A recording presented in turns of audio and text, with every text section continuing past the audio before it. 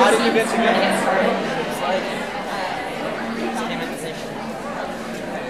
Hi, I'm Naomi Firestone Teeter. I'm the Executive Director of the Jewish Book Council, and I'm thrilled to be able to welcome you to the second program in Season 3 of Unpacking the Book, Jewish Writers and Conversation. Three years ago, we began unpacking the book with the goal of bringing together authors of fiction and nonfiction who have written works of concern to the Jewish community for thoughtful and smart conversations. We have been enriched, educated, and entertained, and I have no doubt that tonight's event, Good Girls, Nasty Women, will continue in this tradition. And with March being Women's History Month, the timing couldn't be better. For those of you who are unfamiliar with the Jewish Book Council, our mission is to make sure that Jewish books are written and published, guide those books to readers, and spark dialogue about those works. From public programs such as this one, awards and conferences, to essays by Jewish authors, book club resources, interviews, and reading lists, JBC provides tools for substantive conversations about Jewish life and identity. Find out more at jewishbookcouncil.org, or you can pick up a rack card on your way out. In addition, we wouldn't be here tonight with a few wonderful partners, so please allow me a moment to tell you about these wonderful institutions. Our co-sponsor for tonight's event is the Jewish Women's Archive, a national organization dedicated to collecting and promoting the stories and voices of Jewish women. JWA explores the past as a framework for understanding the issues important to women today and uses Jewish women's stories to excite people of all genders and ages to see themselves as agents of change. I hope you'll explore their amazing resources, including educational resources, online exhibits, a book club, oral history tools, and a podcast at jwa.org. And they also have some flyers around you should pick up. We are also grateful to the support from our media sponsor, Tablet Magazine, the premier publication of Jewish news and ideas in the U.S. For more literary news and original fiction, read Tablet in print, on the web at tabletmag.com, and subscribe to their weekly podcast, Unorthodox, on iTunes. And of course, a special thank you is in order to our team at our host institution, the Jewish Museum, Jenna, Will, and David. Thank you so much.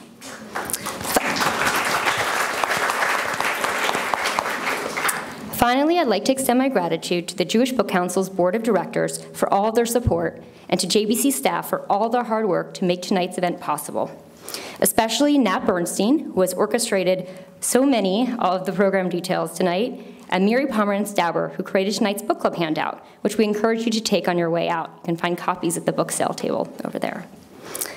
Following this evening's program, we welcome you to join us for a book sale, author signing, which will be over here, and reception until 8.30.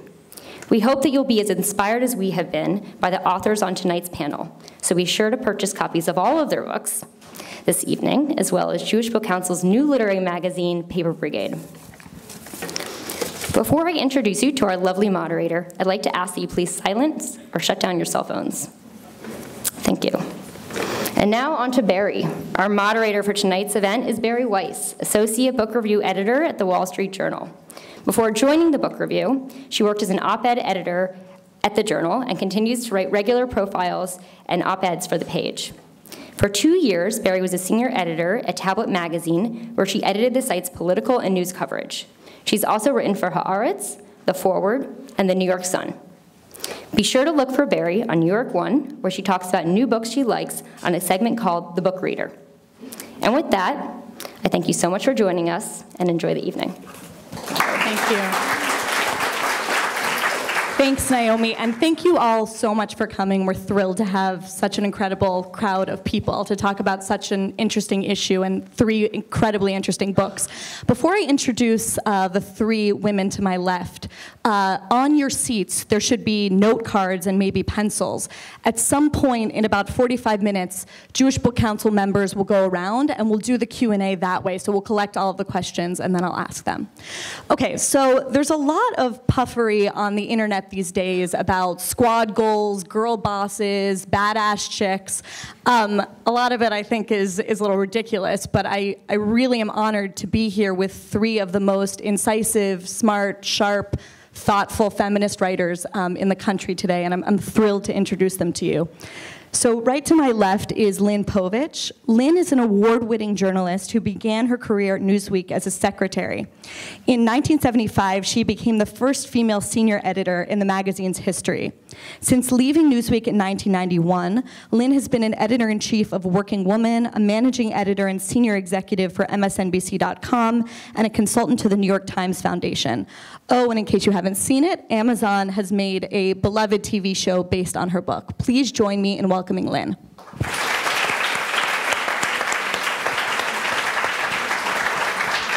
In the middle, we have Bonnie Anderson. Bonnie has taught history and women's studies at Brooklyn College and the Graduate Center of the City University of New York for 30 years. She's a pioneer in the field of women's history and lectures throughout Europe and the United States on women's movements, international feminism, and the history of sexuality. The Rabbi's Atheist Daughter, Ernestine Rose, International Feminist Pioneer, is her fourth book. Please join me in welcoming Bonnie.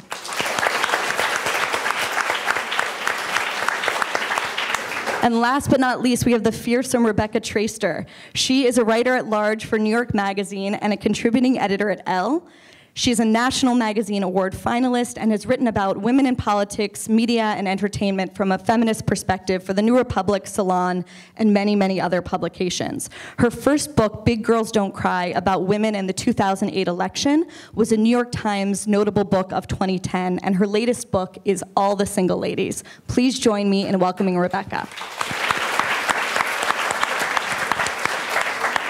So I thought I would start, start off the evening by talking a little bit about my 21 year old sister, who is a student at Michigan and is sort of living out a very feminist reality, in my view, as are all of her friends. And we, when we talked right before the election, we were talking about feminism, and then, of course, after during the Women's March, and she told me that almost none of her friends identify as feminist. And I'm wondering if you guys can sort of make your pitch to women of that generation, or really anyone here in this room who might be squeamish about the F word. Is it worth reclaiming to those who you like that? Is it worth reclaiming to those for whom it's been lost? Should should we move on and just talk about more specific issues? Uh, any of you Did can you take it talk to her before the election or after the election? Uh, both. Is that microphone on, by the way? Okay, great. Um, because I think what's, uh, I mean, many of us have agonized that younger women didn't want to be identified as feminists for a long time. Um, those of us who are proud feminists really hurt us, especially those of us who have daughters and thought that, you know, we were raising uh, them to embrace feminism too. But, you know, that started to change with the celebrities. And then, you know, with this election, I think one of the few silver linings of this election is younger women got it. They understood the kind of misogyny that was in this uh, in our society, and they have been galvanized by this, and they are out there, and they are protesting, and they are organizing, and they are pushing. And I really feel that you know, for the first time in a long time, feminism is actually being uh, revitalized again. So I know Rebecca and I have a slightly different point of view, perhaps. Well, I would agree with Lynn, and thank you, Beyonce. Wait, thank you, Beyonce, or thank you, Donald? What I'm hearing is thank you, maybe Donald Trump. Well, um, I used to advertise my course on the history of feminism as the F word. And I would turn my back to the classroom and say, What are your associations with feminism? And it would be unshaved legs, man hating women, you know, all sorts of things like that. But I do think it has changed.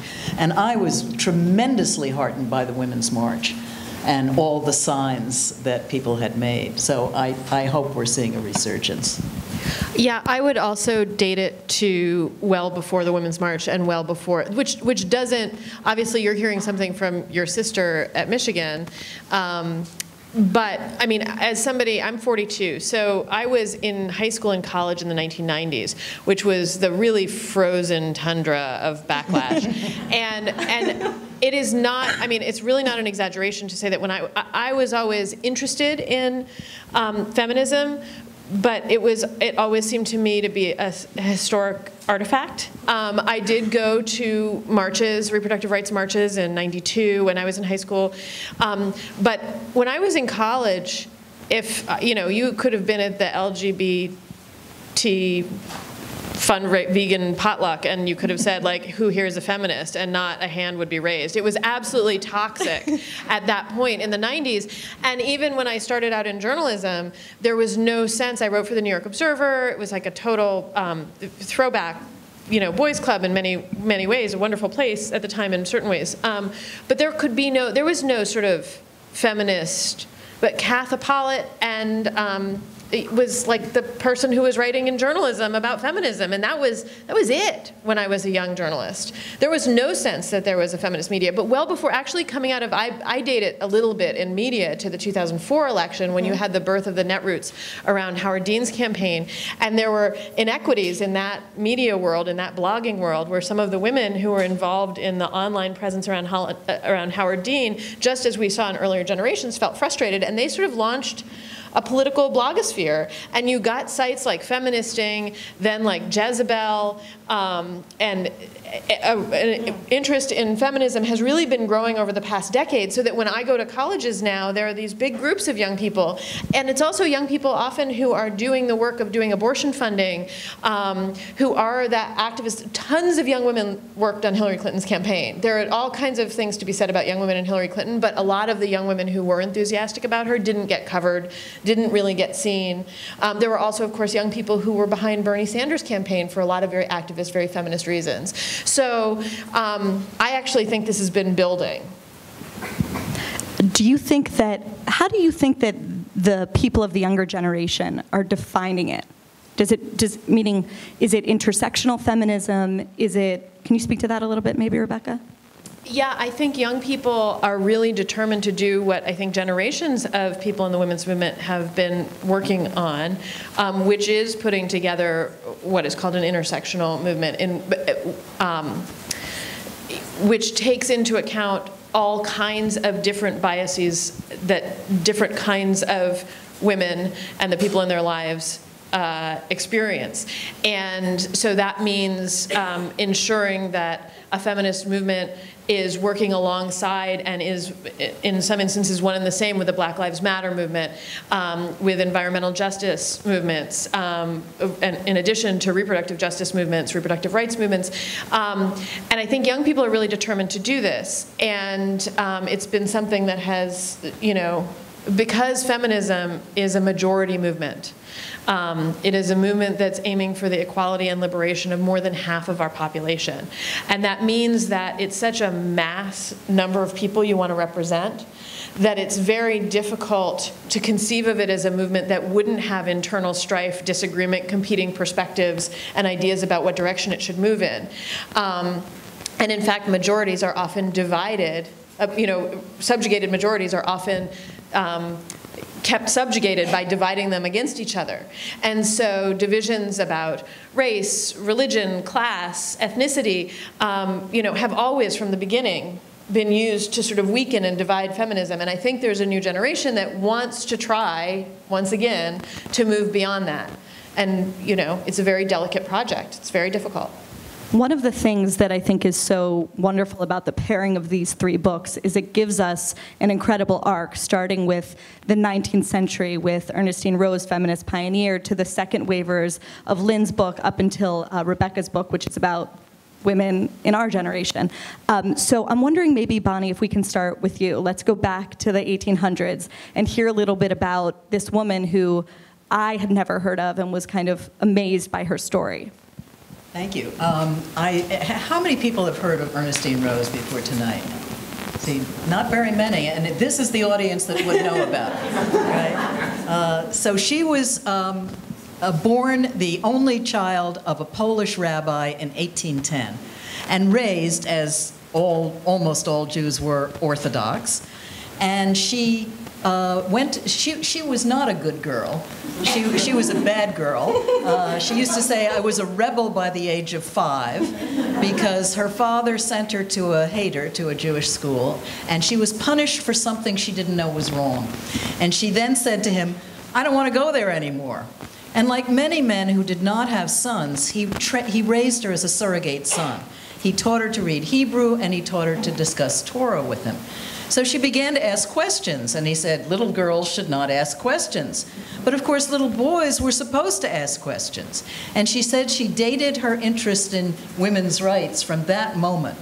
When she was 12, she uh, questioned a saying in her town, which was a small city in the dead center of what used to be Poland, it didn't exist in those years, um, that you should keep the Sabbath unto the breaking of a piece of straw.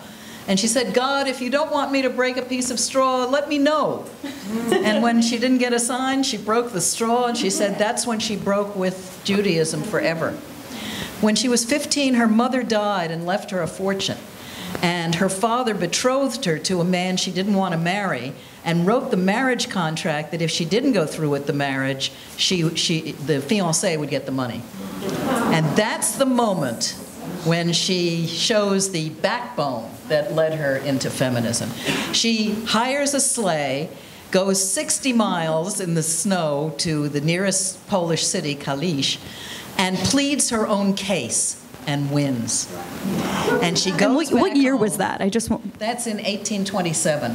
So she's just turned 17. And her father has remarried a girl her own age, and she realizes she's not going to get on with the stepmother. So she leaves him some of the money and leaves Poland, her family, and Judaism forever. She lives for a couple of years in Berlin, she goes to Paris, then she ends up in London, where she finds a more congenial father, a socialist. And um, if you could just hold on a little. I'm sorry. And, and, and this is Robert Owen, who was a famous manufacturer who basically invented early childhood education, believed you could reform the world into a better place. And my guess is that this jived with her in part because it was tikkun olam, you know, that it was the same making the world better. And she calls him my dear father, and it's in that movement that she first speaks publicly, where she's treated as an equal, and where she meets her future husband, William Rose. Her maiden name was Potowska. And together they emigrate to New York City in 1836, and they will live here for 33 years. And, and she begins political action right away. She takes a petition around lower Manhattan for married women's property rights. Because in those years, a married woman, you know, it was the saying was husband and wife are one person, and that person is the husband. so anything you owned, your purse, your wages, your earnings, your, your property, belonged to your husband. She gets six signatures in six months but she never gives up. And it was through that movement that she began to meet other early women's rights leaders, Elizabeth Cady Stanton and other people. By the 1840s, she's speaking on behalf not just of women's rights and free thought, which was very controversial. Free thinkers were called infidels in that, those years, but also for abolition. And she believes deeply in human rights. And when you were talking about feminism and intersectionality, I was thinking human rights. You know, that really is the basis of what we're demanding.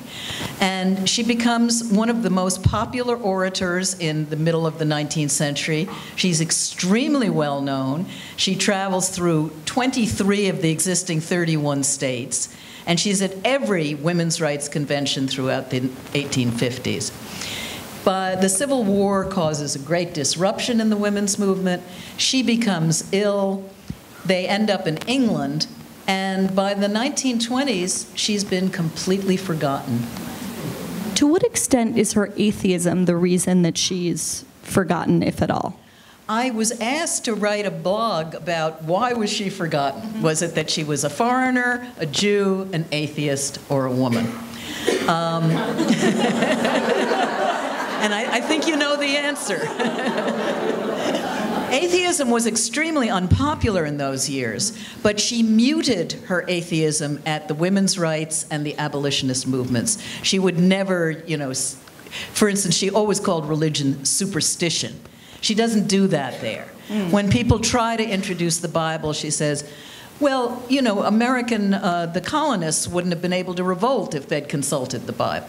So she mutes it. Uh, a foreigner, she's the only non native born person in either the abolitionist or the women's rights movement. Um, and she's always called a foreigner. But I don't think that's a reason to be forgotten, maybe moving back to England. A Jew, this is a period where there are very, very few Jews in the United States of America. There are like 150,000 Jews in this country in 1860, a population of 31 million. And she suffers certainly some anti Semitism. But honestly, I think she was forgotten because there was no women's history. When I was growing up, there was Dolly Madison and Molly Pitcher. And that was about it. And the Boston Investigator, which is the closeted name of the U.S. atheist newspaper, predicted in 1870 that in 100 years, Ernestine Rose will be appreciated. And I think it was women's history that did it. Thanks, Bonnie. Um, so, if Ernestine Rose is a bad girl, tell us about the good girls of the Good Girls Revolt. Um, tell us about this book, why you wrote it, and, and some of the some of the people that it talks about, including you. Well, not everyone in the second wave was a good girl. uh, but, you know, we were uh, post war women. Um, we were expected to get married and have children and support our husbands. Um, and we believed, and this is what the good girls really meant, it didn't mean sexually, it meant that we believed that if you um, worked hard, you did well, you were polite, that you would get ahead in the world, you would get the right guy, um, and that you would do well. And that's really what sort of good girls really meant, because there were a lot of bad girls in that population, thank goodness, who really pushed um, for rights. So there we were at Newsweek, where only men were hired as reporters, writers, and editors, and only women as researchers, and rarely promoted out of that category. Um, and in 1969, um, we decided, uh, one of the women found out from her friend, who was a lawyer, that segregating jobs by gender was illegal. And once we realized it was actually illegal, this is five years after the Civil Rights Act, and we didn't really understand the Civil Rights Act applied to women, even though it said sex in the act, uh, where you couldn't discriminate because of sex. We sort of thought it was much more about the civil rights movement and about blacks. Um, when we realized it was immoral, that was sort of like, oh my God, we've got to do something about this. And that's when we began to organize and realize that we, um, we had to file a sex discrimination complaint against Newsweek with the Equal Employment Opportunities Commission. And the complication was we love Newsweek. Newsweek was a great magazine. It was an important magazine. It was the progressive magazine to time. We just wanted to make it better for women. We didn't want to get fired. Uh, we wanted to work there, but we wanted to get promoted. So here we were organizing in our workplaces under our bosses' noses um, to ultimately sue them. And we knew if they found out, they would fire all of us. Um, once we filed the suit, we could be protected by the law. So um, it was a very sort of scary time. And to this day, I have to say, one of the great sort of feminist things about this story is there were ultimately 60 women who signed this complaint. And over the six months, or five or six months we organized, not one woman ratted us out, which is pretty amazing to show the sort of determination and the commitment to doing this. Um, anyway, the day that Newsweek did a cover story on the women's movement called Women in Revolt, we announced that we were filing sex discrimination. In the book, you sort of talk about how it set off a wave of other suits at other publications. Can you speak a little bit about that? Yeah, it was very interesting. Um, the day after we sued, a reporter from the New Statesman called a friend of hers at Fortune and said, well, the women at Newsweek have sued. Are you going to do anything? And she said, Oh, well, that's a good idea. um, so, three months after we filed our complaint, the women at Fortune, the women at Time Magazine, and the women at Sports Illustrated all filed complaints. And then the floodgates opened. I mean, women at the Associated Press at NBC, at the New Haven Register, at Newsday, and ultimately at the New York Times and the Washington Post, both four years after we filed our complaint, all filed suit. And women at all of these news organizations were encouraged to organize and press for charges. One last question. Were your male colleagues supportive, skeptical? How did it work sort of internally? I mean, some were and, and some weren't. Uh, most of us worked very closely with the male writers, and many of the male writers were quite supportive. Um, you know, they were raised in this atmosphere too, and as one of them said, who was married to a professional journalist, oh my God, you know, here I am writing about blacks and civil rights, and right under my nose, we've been oppressing this whole group of women. You know, it just, that was the culture, you know, that was the click moment. Everyone had theirs, and sort of, it woke up a lot of the men who, who did appreciate the fact that we were smart, we checked their copy, we reported for them, and they knew, they knew that we were talented. One of the problems was that it was affirmative action period, and a lot of people were against affirmative action. They believed that the only reason you were going to get ahead was because you were a woman or because you were black, and not because you had the talent. So a lot of the men were sort of against this affirmative action thing. A lot of them were angry that we had laundered our dirty laundry in public. Um, and a lot of the men just were not only angry, but also didn't believe that women had this talent. We used to say, you know, writing for Newsweek was a God given talent, but it was only given to men. so there were men who felt that way. And the first brave women who decided to try, do a writing tryout, even though they were being published in the New York Times and the Atlantic and the Voice, all failed their tryouts because their editors did not want them to succeed. Uh, Rebecca, your book, um, there, there's this quote in it uh, from, I think, 1877, where Susan B. Anthony talks about the coming epoch of single women. And you say that that epoch is now upon us, and it's just as radical a development as the sexual revolution or the pill. Tell us why. Um, well, it's what, what we're living through. The, I came to writing my book initially thinking it was just going to be a book of contemporary journalism because we're living in this period in which the rates of marriage um, are plummeting and the age of first marriage is getting ever further delayed. Um, and what that means for women, especially, who historically have been marriage, among many other things, has been a relationship based on dependence. Um, women have been economically, sexually, and socially dependent on men um, until very recently. And for a whole number of reasons, um, starting, you know, with the founding and moving through the 19th century and into the social movements of the 20th century, and uh, what we now live in is an era in which women can live outside of marriage, in which they can um, have economic stability without being married to a man, in which they can have a liberated sex life without being married to a man um, and not risk social censure. Obviously, women have had liberated have had sex lives without being married or outside of marriage forever um, in which they can have families in which they can have children outside of marriage.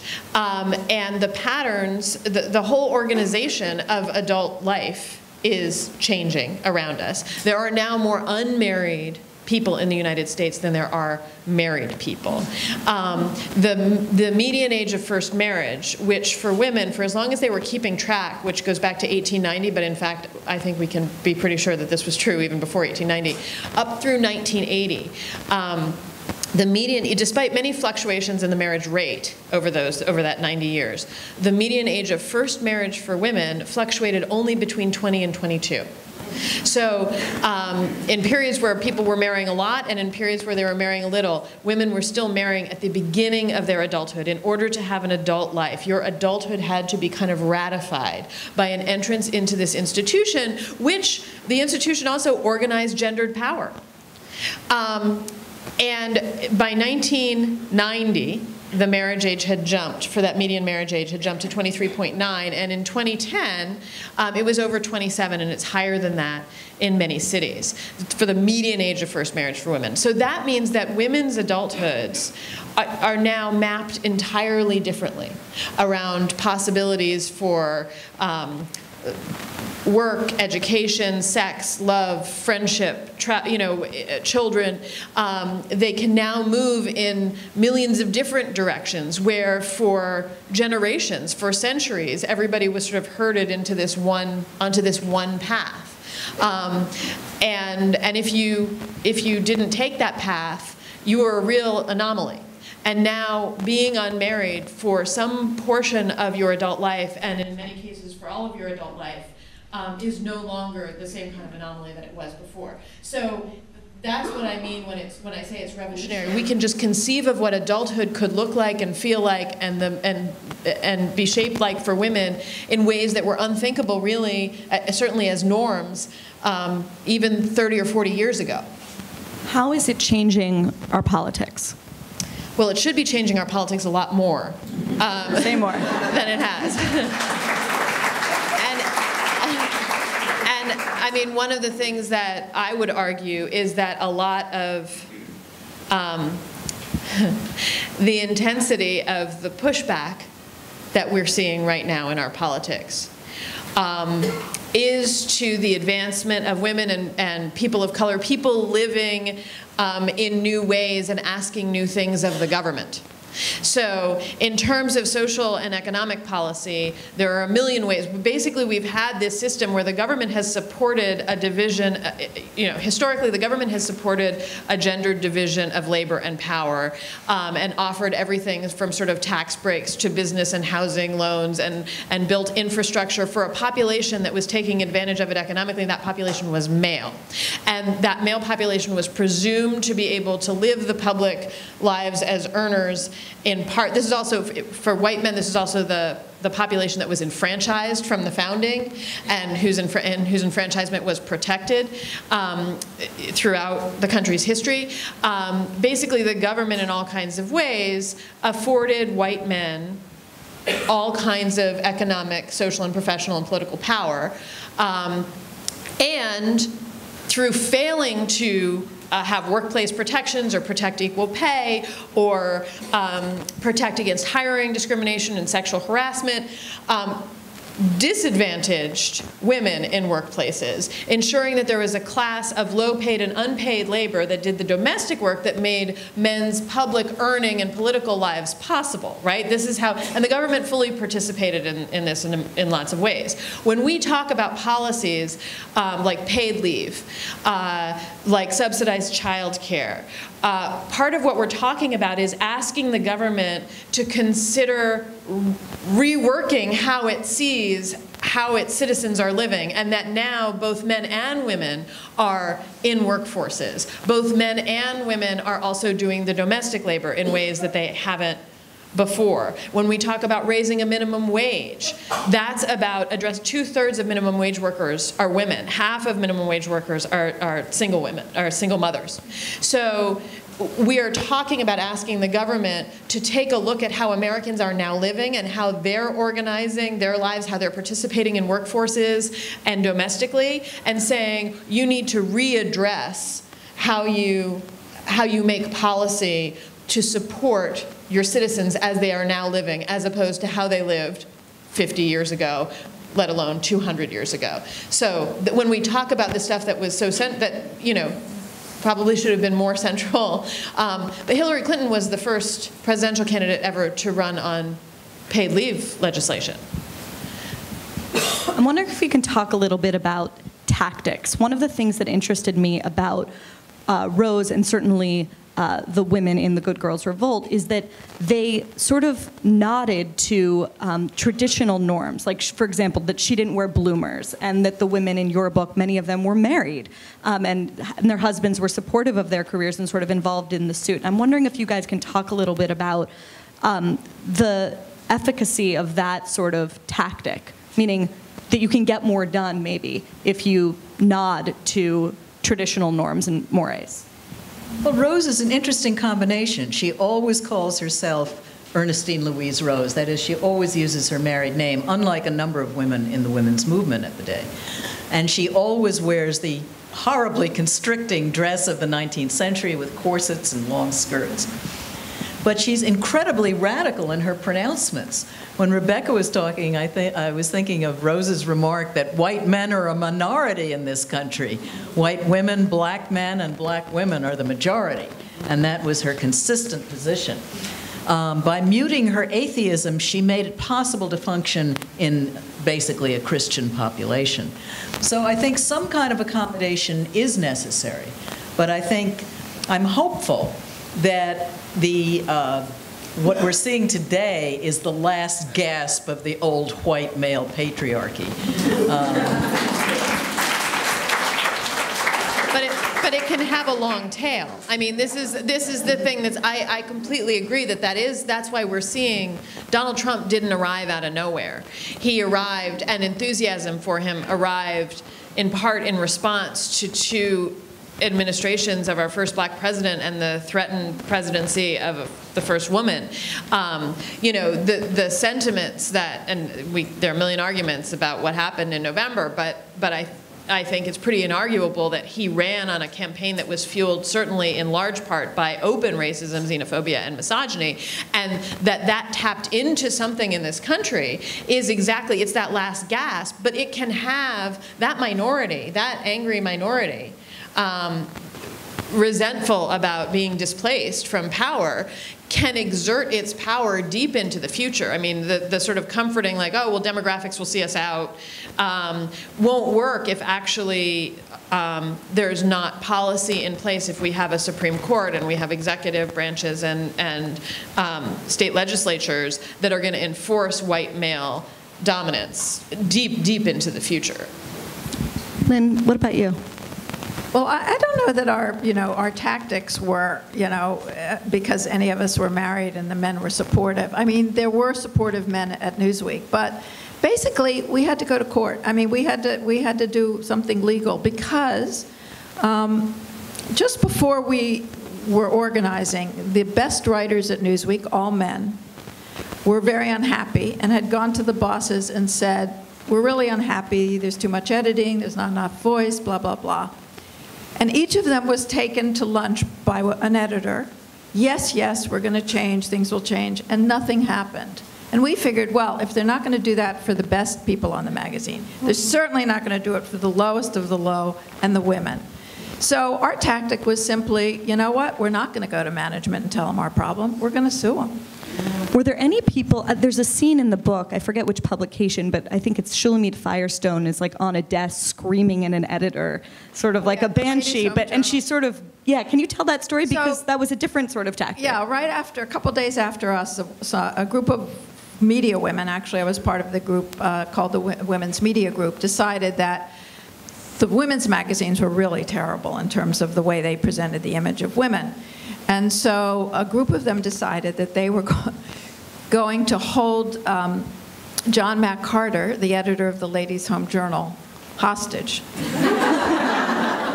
So one morning, they crept in the building. They walked up. They, they at eight o'clock, they went up the stairwells, not the elevator, and about 50 of them went into his office and refused. This was the period of sit-ins, you know, at Columbia. Refused to leave, and they kept him captive for about 12 hours. And they read a whole list of everything that was wrong with the Ladies' Home Journal and all the articles and what it was, you know, portraying women as and demanding that they take over the magazine, that he promote women, that he pay his secretaries, and so on and so forth. Um, it was very much of the Times, and it got a lot of um, it got a lot of press. And in the end, they ended up negotiating where John Mack Carter gave the women one issue of the Ladies' Home Journal in August to edit. And no, no one reads in August. No paid, no paid le- um, family leave, which they asked for. No raises for any of the women who work there. No promotions, nothing.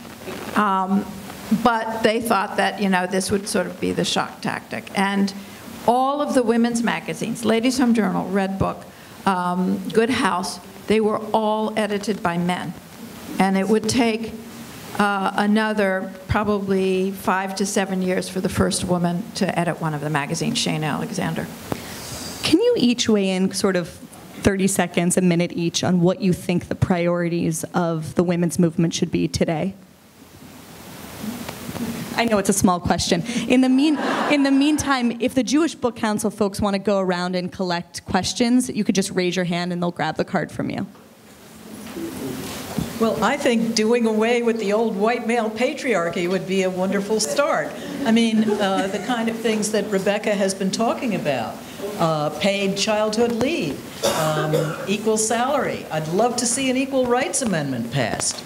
Um, It just got ratified in Nevada, by the way, on Monday. The ERA was ratified in Nevada. I mean, one of the difficult truths is not all women are feminists and not all men are anti-feminist. You know, so you find your allies where you can. Um, but the reason I think of it as an old movement, honestly, is my half-brother, a member of the Tea Party who voted for Trump, and he, he feels he's on the way out. And he's 81, so.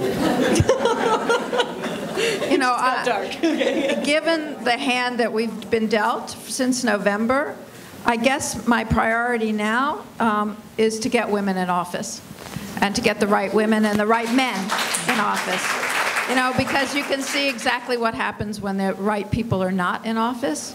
And I know it'll take time, but um, I know a lot of women have stepped up now and are training to run for office. And, you know, it's not just a gender thing. I don't want, I always say this. You know, there are a lot of great men out there who are terrific and they should run, and there are a lot of women who aren't terrific and they shouldn't run. So you need the right women and the right men. But I, I just feel right now we're in a political moment where we have to start rebuilding from the ground up. Rebecca? Um, I certainly agree with that. I think we should endeavor to make our democracy actually representative, which it certainly is not.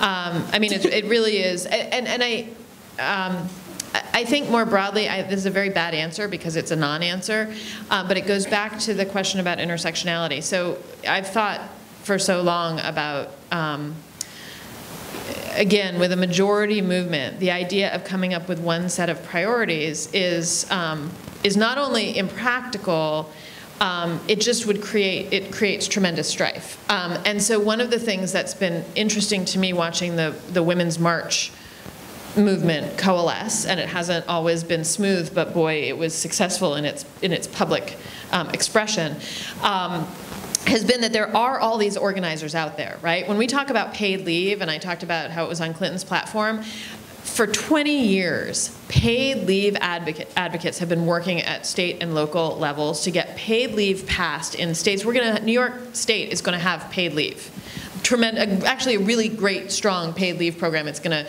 phase in over the next few years. It'll be a few years before people can take advantage of it. That's because of the work of organizers. Um, criminal justice. Um, advocates have been organizing uh, at local and state levels all around the country. Um, uh, obviously, reproductive justice groups organize. I think one of the goals of the women's movement right now um, has to be a more active promotion of communication between all these different people who are doing the work of organizing and um, sort of making effective messaging about how women can contribute to, to the areas that they're passionate and interested about. So I think of it as less about coming, I, I think something like um, better political representation is absolutely crucial because I am among those who thinks it will make a difference, even though there will be horrible women, uh, you know, who are on the right who I'll very eagerly vote against. But, um, but I, I also think that it's, it's about envisioning a women's movement in which the people who are doing the tremendous work of organizing and change can be talking more to each other and envisioning themselves as part of a women's movement where where the women's part is is front and center. So speaking of women on the right, I guess I'll offer myself up. I'm conservative about certain issues, and it seems to me that one of my fears is that feminism seems like it's becoming something that is where, where, where you're only welcome if you share extremely progressive politics. And we've seen that um, in sort of the, the brouhaha about um, Zionist place in the women's movement. I know it's a sensitive question, but I'm wondering if, if you guys can address that. And if you think that feminism means um, ascribing to this kind of longer and longer set of progressive polit- policies.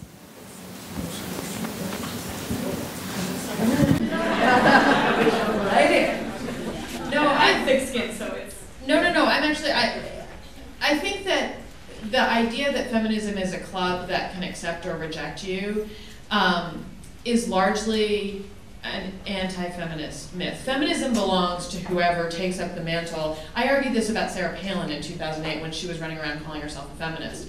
And you know, there were a lot of people. You argued that she was one, if she called herself it or not. No, I argued that feminism belongs, like the, this again, because it has such a long varied, diverse, and often combative history.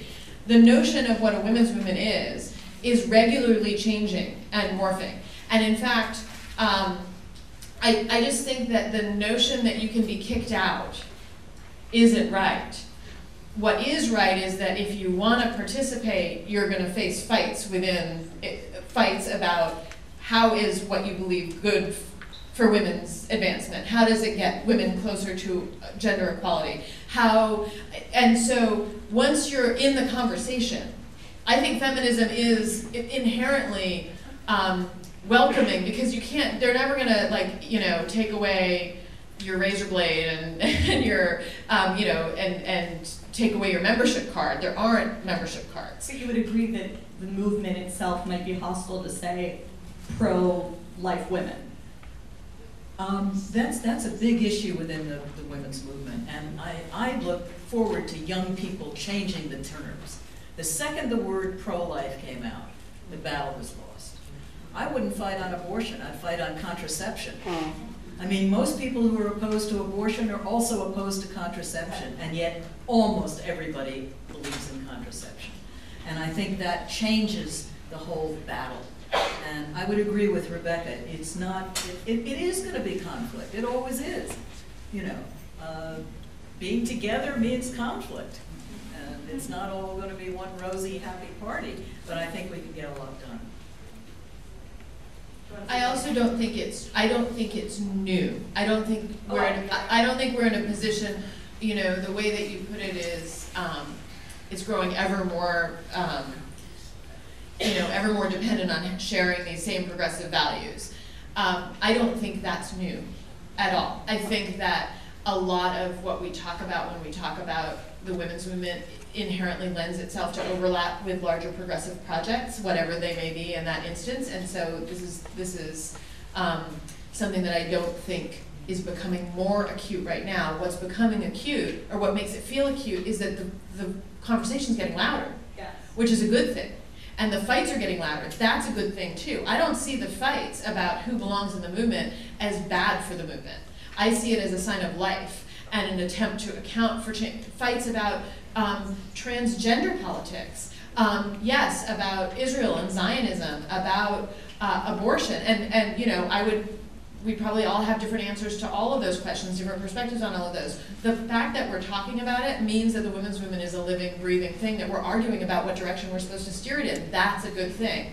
And I think that's what you're responding to, not that like there's a litmus test that's getting more intense.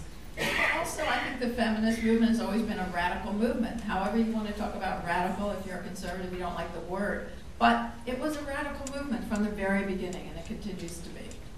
And it always had deep divisions. I mean, the women's movement split after the Civil War, with those people who wanted the black man's vote and those who wanted to vote for all women as well. Okay, one question from the audience. Uh, one of the hallmarks of the current feminist movement is the increased accessibility to knowledge via the internet. Can you speak about the role of, there we go, social media for current and future feminist movements? Well, I mean, I, I think that uh, it's really helped the movement a lot. And I, you know, I worked at MSNBC in the time of the beginning of the internet when most of the internet sites were really controlled by uh, computer guys because uh, it, it, it was all these engineers who created Microsoft and, and or all, all these um, CompuServe, if you remember all that stuff. With social media, it was sort of the door open to women because women are really good at networking, at conversation, at the kind of um, language that's used in social media. And so you'll find that not only are women in social media, but they use social media very effectively. And it's, as Rebecca said, even starting with the zines in the early days of the 2004. I mean, it really, social media really didn't come in until probably, um, I don't know, eight, ten. Um, so just, you know, six, seven years ago, we've, we've just writ- witnessed this rise, but it's, I think it's really helped a lot of the movements and certainly the organizing and the ability to gather, protest, and be effective. I don't want to say a good word about trolling, but I do think, I do think that it has brought, you know, rampant misogyny out in the open. And, you know, between Gamergate or what they did to Leslie Jones, you know, it's there. People can't ignore it. Uh, how can we make our boys feminists in the era of Donald Trump? Have them do the dishes. I don't, I don't see that Donald Trump is necessarily going to affect our, our sons in a particular, I mean, they, they're individuals, they have their own abilities to determine, you know, what's a good person, what's a, what's somebody who's a liar. I mean, they- they're no different from anybody else. Um, I, I do think that, um, you know, we are seeing a real change in a lot of men uh, who have been raised by certainly working mothers and feminist mothers. Um, and, and you see more and more that certainly young men today want to be far more involved in raising their children than my father's generation wanted to be, and who are also stigmatized themselves when they take flex time or take paternity leave. You know, they're considered not serious in their careers. So actually, I have a lot of hope for younger men that you know that that their issues are sort of uh, becoming much more common to what women have put up with. I actually think that the, that Trump's election um, has had a startling impact on kids that I don't know that we can predict what's gonna come from it. Um, But, and not just in my sort of lefty Brooklyn enclave, where they, where I have a six-year-old daughter, and um, where the kindergartners truly, they, I mean, view him as a monster, as a bad guy from, you know, and, and the fact that he so shockingly came to power by beating um, a woman, uh, I think will make a big impression. And, and again, it's not just in Brooklyn. I mean, I've traveled a lot since the election, and I hear this actually all over the country, um, in both cities and more rural areas, that he is such a cartoon figure that for kids especially, he resonates. Um, and that's whether whether these kids, boys and girls, are looking at him and thinking of the fact that um, he, you know, beat Hillary Clinton to get to the White House, or that he said terrible things about women, or that he's um, deporting their their friends' families and parents. Um, he's a bad guy, and I think that again, I don't know how that plays out as this generation moves into adulthood, but I think for kids, this has probably had a traumatic effect that we that you know will make a difference in their lives. How do you explain how he won to your daughter? Has she asked that question? Oh yeah, we talked. She's obsessed with this, but um, but she knew. I mean, I didn't. I thought he might win, so it wasn't a. It was a shock in that by the end I was very hopeful. I I actually did believe at the very end that Hillary was going to win, but up until then, I had been really clear with her that Donald Trump might win. Um, yeah, I wanted. I was very scared through the. I was scared. I was scared 24 hours a day. And it was only maybe in the last week of October that I looked at the numbers and I began to feel not scared. I began to feel like, wait a minute, this is going to happen. Um, and Rosie was actually the person, my six year old was the person who repeatedly, I was at the Javits Center on election night and she was home with my husband and she kept saying to my husband, it's going to be okay. It's going to be okay. Don't worry. I mean, in her mind, like there are only ever, there's like, it's just going to be Hillary versus Donald Trump for the rest of her life. So she's like, don't worry, Hillary will win next time. my husband is like, you know, deep breathing on the couch.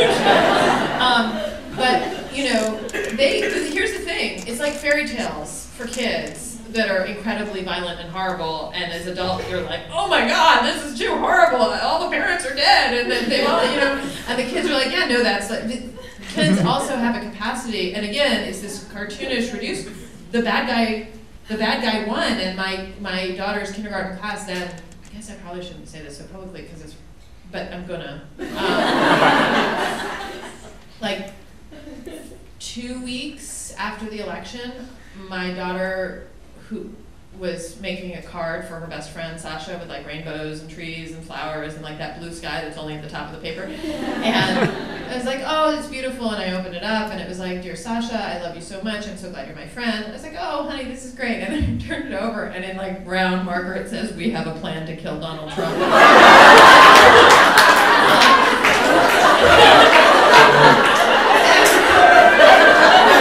One hundred percent true. And my husband and I were like aghast and like, oh my god, what are we gonna do? And then Now on a terrorist watch list. I, I know. I've never said it. I've told people this socially, but I've never said it in front of a large crowd. Um, kindergarten. Well, the other, and then a few days later, we were at drop off, and one of the other parents came up to me and was like, "You know about the plan?"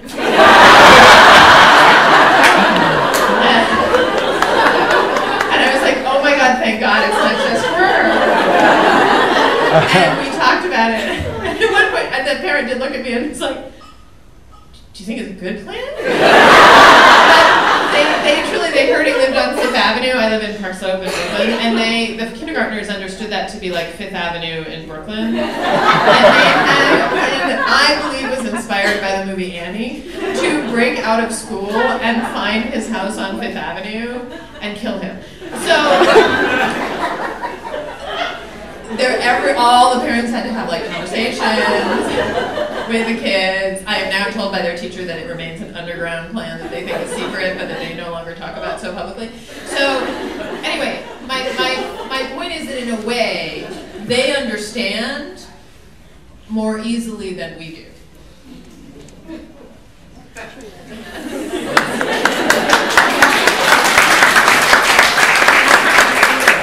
There's no way to pivot to this, so I'm just going to ask you. Um, how has your Judaism or your Jewish identity affected your writing, your feminism, and your involvement in the various justice movements that you're each a part of? Well, I have an odd Jewish identity. Despite my name, I'm Jewish. Um, and my writing partner, who's sitting right there, Judith Zinsser, uh, you know, we would meet people and they'd say, Bonnie Anderson, Judith Zinsser, who's the Jew? Wrong. so I was raised knowing I was Jewish and being taught nothing about Judaism. And uh, Where were you raised? here in New York City. Um, I mean, we had a Christmas tree. When I went to college, people would say, "Oh, you're Jewish. What's Hanukkah?" And I would say. um, I must say that being sort of an outsider um, helped me.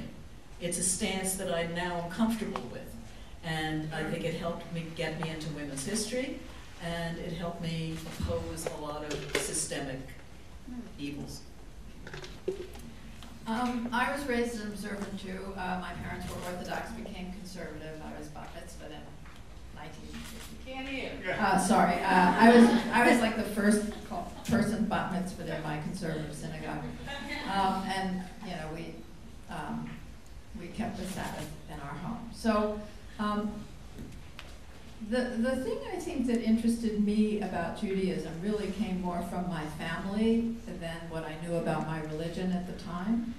Uh, my father was a sports columnist at the Washington Post and would write regularly about the integration or lack of integration in sports. So he wrote a lot about Jackie Robinson and the lack of Negroes in, in baseball, and he wrote the fact that the Washington Redskins was the last team to integrate um, and to have blacks on, on their team. He once said the colors of the Washington Redskins are burgundy, gold, and Caucasian. Um, so I had this early um, model of um, sort of social justice and and having been raised in the era where there was a big civil rights movement and an anti-war movement, and luckily the women's movement, um, I, I took from that uh, the sort of social justice piece of Judaism. Um, and uh, the women's lawsuit at Newsweek was really the thing that um, made, set my path to kind of work on behalf of women. Uh, I, I wasn't, you know, as a journalist, one doesn't sort of uh, commit oneself to political movements necessarily, but that experience radicalized me, and um, everything I've done since then has been in the service of women's rights. And I think you are a model of a journalist who does. Yeah, I totally commit cross. myself to, yeah. But, but I, I get to do that because I'm an opinion journalist and who also is a reporter. There's no, I, I'm very lucky that I have the kind of job that I have and the, and the niche that I get to fill where I don't have to be at all careful about being clear about what I, what I believe, um, in my, in my work, in my writing. Um, I have uh, no religion. I was, I am not religiously, um, observant in any direction. My mom was a Baptist potato farmer from northern Maine, and my dad was Jewish communist from the Bronx. And so, the thing though that was, and, and because when they married, it caused a tremendous family drama, um, they both, neither of them were religious. And in fact, the fact that religion had gotten in the way, in the way of their families accepting their marriage made them pretty aggressively non-observant. And so I was not raised in a religious house. But the thing that, the way I came to, I guess what I would conceive of as my Jewish identity, aside from the fact that I look like I walked out of the Jewish Girl Factory, um, is that I was, and um, is that I grew up in suburban Philadelphia in an Irish Italian blue collar neighborhood where I was really the only Jew in my elementary school. Um, you know, and was like asked if I had horns and all this stuff. And um, through sixth grade, and then I went to a Quaker school in Philadelphia where I was like the only not Jewish person, and and was castigated horribly if I ever took a holy day off, you know, but didn't go to shul. So by like my friend's father, who was incredibly. Anyway, so, I, I, but the other thing is that I think when I was young and first reading, right, when my when I was in elementary school, and I was so acutely aware of the fact that even as a non-observant half Jew, I was so Jewish in amongst my friends, amongst my peers. Um, and also, my dad had told me about the Holocaust from the time I was like two, and it loomed. I mean, and all my reading was uh, was about Jews, um, and history, and the you know, um, Anne Frank, and all kinds of other Lois Lowry, um, even the sort of you know, the, when I was reading Judy Blume, I was reading Sally J. Freedman, and I, you know, it was what my um, I was consumed uh, often, and because I was reading books about girls, I think that's part of how I got to think about stories about girls. And so it's a very sideways way of saying that my interest in um, reading about, not about Judaism, but about Jews. And as a little girl, that led me to stories about Jewish girls, all kind of family. I mean, I was always reading about Jewish girls. And they were often uh, quite badly behaved. And that was also, which was, which was also um, fascinating to me. And so I guess that that's probably the, the pathway. One of the last ones. Um, who, this is a great question. Who are the Ernestine Roses, the overlooked feminist pioneers of today? And if you don't have an answer to that, it's hard. Who are people that you all look up to right now in the women's movement?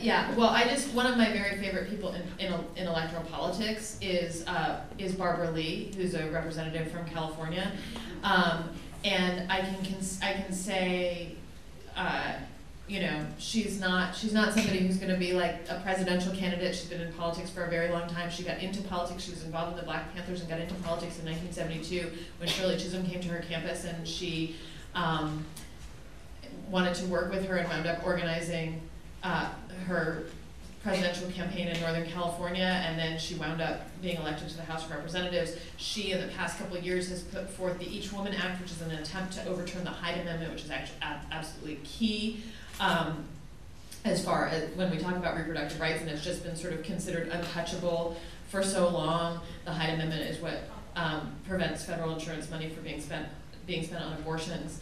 Um, she opposed the the Iraq War at every stage. Um, so she's, uh, I think, an under, just in terms of women in politics, we, we talk about women in politics, whether it's um, Clinton and Warren and Gillibrand and Kamala Harris um, and Nancy Pelosi, and even um, you know, some of the, the women in the, the house, Maxine Waters, who's, who's terrific, but Barbara Lee is a real hero of mine, and I don't think we talk about her enough. Well, I would, I would say Kirsten Gillibrand, whom I- is not unknown, but I, I just admire her tremendously. Um, I don't know if you saw her interchange with the Marine general over the dreadful sexual harassment that was going on in the Marine Corps, where they had all the pictures of naked Marine women. And he was like waffling and, oh, we'll do this, and she just kept going at him. What specifically are you planning to do? And she's made sexual harassment in the military her issue, and I admire.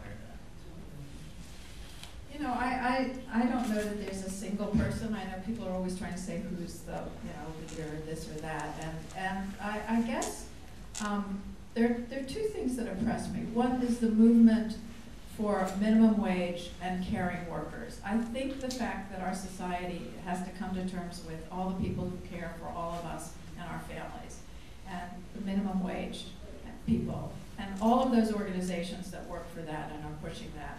I, just have enormous respect and admiration and hope that that really gets some traction in the next couple couple of years. And I also think that the women artists out there today, the writers, the painters, uh, the creators of television and films like Hidden Figures, I, I just think that there is an enormous amount of great work being done by a lot of women artists. Um, you would call them, they may call themselves feminists or not, but there's just a, huge breadth now of women's experiences being explored, and, and I just think that's a fantastic thing. Um, before we wrap, I would love it if each of you could recommend a book that you love. It could be a feminist book, or it could be a book. I mean, I know Rebecca named like 20, but a book that set you off on your sort of feminist journey, something that maybe changed your life that you think could change the life of someone else in this room. And in the meantime, I will give you guys a, a quick announcement, which is that afterward, um, and this will be the last question, you should all buy these three wonderful books, and the authors will be sitting here and will be happy to, to sign them. My book didn't start me off um, because I didn't read the books I wanted to write, as it turned out. But I read a wonderful book that came out maybe seven years ago called Codename Verity. And it's a young adult novel that's based on the very strong friendship between two English women during World War II.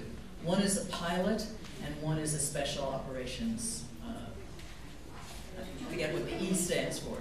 And the, the second one is captured by the Nazis. Code name Verity. It's by Elizabeth Wein, W-E-I-N. And it's just a wonderful book based on women's history. She has a reading list at the end of what strong women can do under the worst of conditions. I think one of the books that really changed my life, I, I was a student at Vassar College and my professor was Linda Nochlin, and she wrote a very famous essay. Um, ultimately, became a book about why, they, why aren't there any great women artists. And that was sort of the very beginning. I mean, there weren't even women's studies then, but that was the very beginning of looking at the lost history of women. Um, I think that part of a book that I've, I've since read, and now it, it reads very differently to me in retrospect, but it is true that Susan Faludi's Backlash, at the time that it came out, helped me to understand that period of sort of um, frozen anti-feminism in which I'd come of age in a way that freed me um, to start thinking that maybe it could just be a stage and could be undone. And as I said, I, I recently went back um, and reread it, and I, and I actually feel very differently about it now. But at the time, um, it helped me tremendously to conceive of the period in which I was becoming an adult. Thank you all so much.